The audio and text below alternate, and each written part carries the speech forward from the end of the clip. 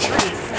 Uh, folks, let me introduce you to the commanding officer, training center Cape May. This is Captain Bill Kelly. Good to see you, Captain Kelly. How are we doing tonight, folks? Great.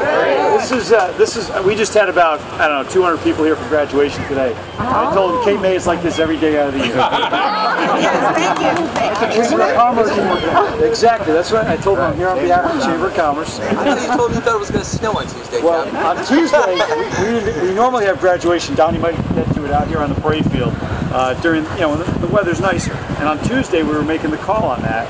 And you looked at the forecast and it said on Friday, you know, it's going to be about 60 or whatever. Well, it said the same thing for Tuesday. And, you know, it looked like it was going to snow on Tuesday. So I said, no, we're not going outside. And then it showed up today. It was. But hopefully, the weather has turned. Have things to enjoy for the remainder of the season, right through the great uh, summer season Cape May provides us. But thank you for coming to Train Center Cape May.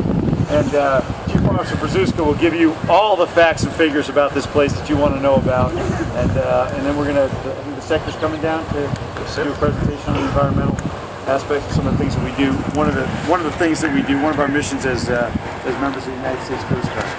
Donnie, you got a you got a tour set up, so I don't want to Yes, sir. I don't want to steal it from you. The other group